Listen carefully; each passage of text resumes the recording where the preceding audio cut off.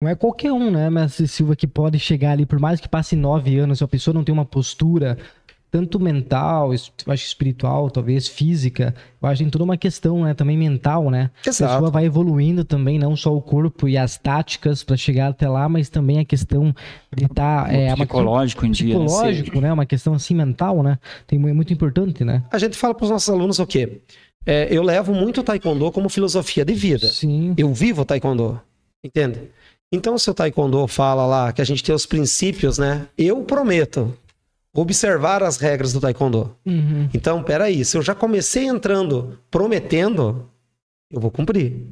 Então, é quase um mandamento que a gente fala todo dia. A gente tem o juramento no início da aula e a gente tem os princípios no final da aula. Integridade, cortesia, perseverança, autocontrole, espírito indomável.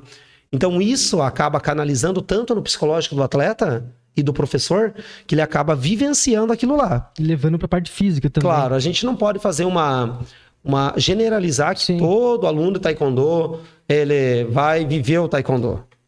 Tem gente que tá lá para fazer o taekwondo saúde, vai lá, faz o abdominal dele, dá o chute, dá o soco, Sim. faz o ponce e vai para casa, né?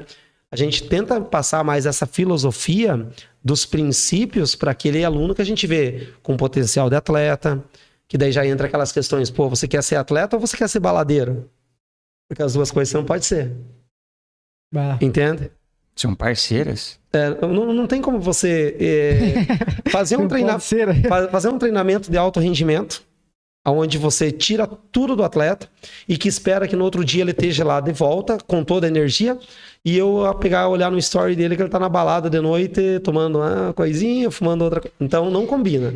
Infelizmente, dentro da modalidade de alto rendimento, ou você é atleta é. ou você não é. Sim. Eu sempre coloco como pauta para os adolescentes Cristiano Ronaldo. E o nosso principal atleta do Brasil, que eu nem preciso citar nome, né? Sim. Simples.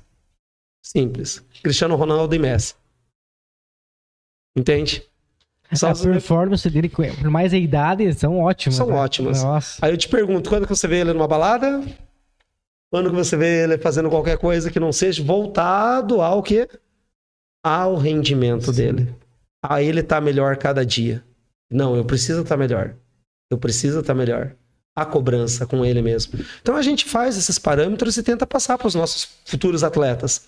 Aí que entra na questão também de a gente ter muito potencial em alguns atletas e a gente perder ele.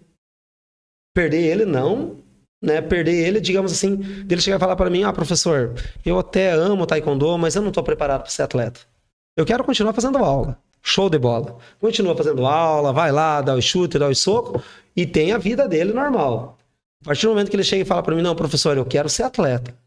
Eu quero estar tá lá onde o Lucas Ostapive está." Porque olhar as fotos, ver a, a, a mídia é uma coisa, né? O cara querer passar pelo processo é outra. Eu posso até fazer um comentário. O Lucas Ostapive e o Gabriel Ostapive, os irmãos, Pablo, Carlos, Cássio, Flávia, era uma equipe de alto rendimento que a gente tinha alguns anos atrás. Eu falava assim, pessoal, 5 e meia da manhã tem treino. 5 e 20 da manhã eles estavam na frente da academia para treinar. Esse corte é um oferecimento Crop Up